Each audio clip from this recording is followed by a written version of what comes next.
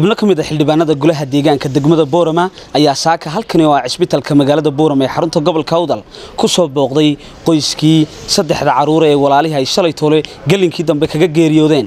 Magaalada boorama ee xarunta gobolka awdal kadib markii dab uu qabsaday jiingaday degan yihiin oo ku taalla galbeedka magaalada boorama. Wiilkii afraadna halkan xaaladiisa lagula tacaalayo kadib markii ay kormeerkooda soo dhammaysteen ee ay soo eegeen xaaladda uu ku sugan yahay ilmaha yari waxay deeq lacaga gaadhsiiyeen aabbihii dhalay afarta caruura iyagoo sheegay inay deeqdani noqon doonto barbilow fiican hase ahaatee xildhibaanadu iyagu iskooda isku soo abaabuleen.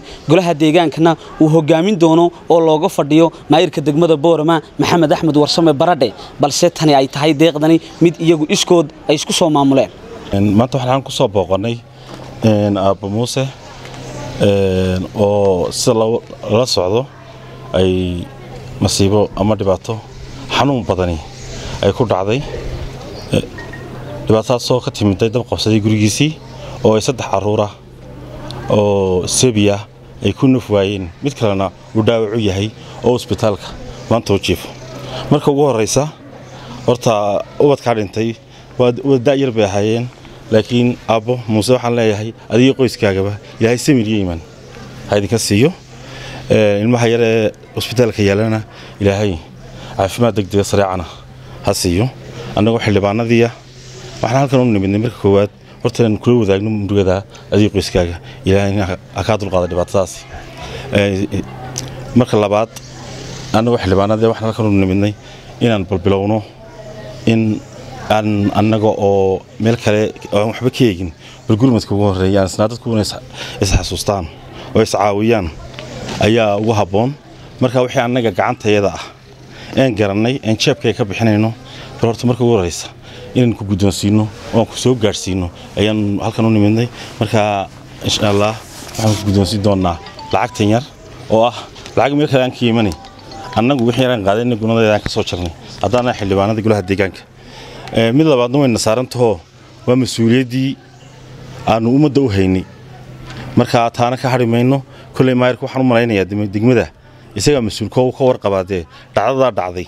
Iyo dhibta ay geysatay xanuunkeeda ay leedahay markaa isagana dib baan isku arki doonnaa oon wargelin doonnaa. Wixii nagaga beegan annaga ka maamul ahaanna insha allah waxaan jecelnahay inaan soo gaadhsiinno qoyskaasay dhibaatadu soo gaadhay. Fariinta u dambaysana waxaan gaadhsiinayaa ummadda islaamka gaar ahaan ummadda reer owdal gaar ahaan kuwa degmadan bowrama iyo qurbajoog iyo qurqajoog labadaba ha ahaadaane inay qoyskaasi wixii gacan ah ee ilaahay dirti ugu soo caawiyaan. Waxaa weeyaan dhibaatadu qofna lama ballamin maalinba qof bay haysataa. Markaa islaamku haddaynu nahay diintayna faraysa dhaqankayna faraya inaan iscaawinno markaa waxaan leeyahay walaalaha muxsiniinta wixii gacantooda ay ka geysan karaan hawshaasi. Ha ku soo gaarhaan muuse.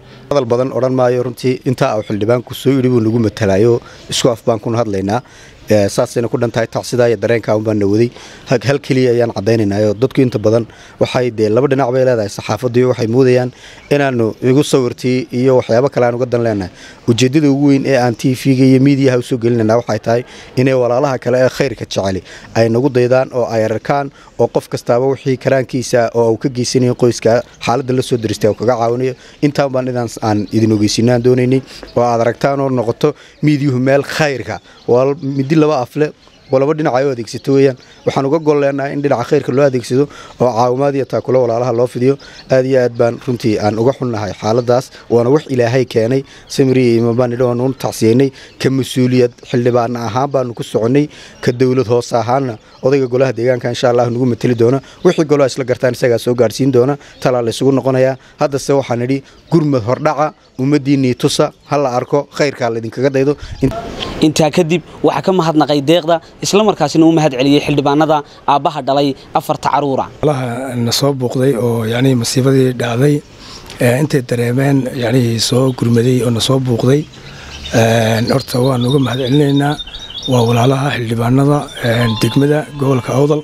Aad iyo aad bay u mahadsan yihiin arrintaana waa dareen iyo shucuur yacnii waxa weeyaan ay dareemeen.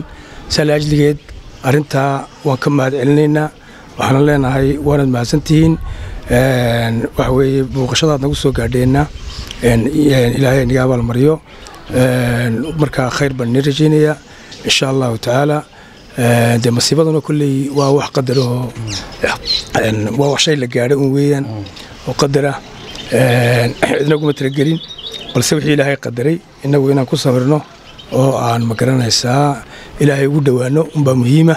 Marka aad baan u mahadsantihiin. Suxufi cishqi m m t v magaalada boorame ee xarunta gobolka awdal